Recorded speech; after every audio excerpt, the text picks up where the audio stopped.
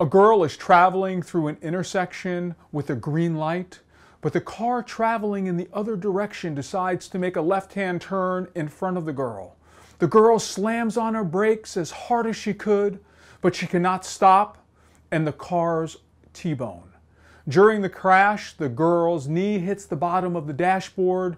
She jams her ankle against the brake and she feels something give way in her foot. She has immediate pain. She's taken to the hospital and diagnosed with a Lisfranc injury. Hang on for a moment and I'll explain what you need to know about a Liz Frank injury.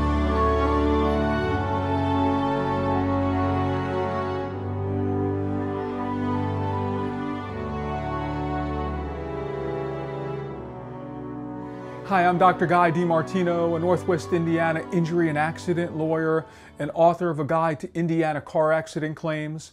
A Liz Lisfranc injury is a fractured dislocation of one or more bones in the midfoot.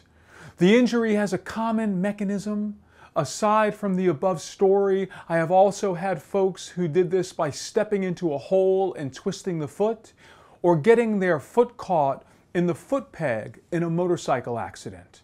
The injury can be quite debilitating if it is not timely diagnosed and treated. And even with the most timely care, these folks a lot of times do not recover well. And the reason for that is the midfoot is very important in maintaining the arch. Treatment for this injury can range from simple casting and immobilization to open reduction internal fixation surgery. The type of treatment will depend upon the severity of the fracture and the degree of the dislocation. Over the years, I've had fits and fights with insurance adjusters about compensation for my clients with these claims. Insurance adjusters take the position that these claims are just fractures and they should heal. However, these fractures do not heal because the problem is the dislocation.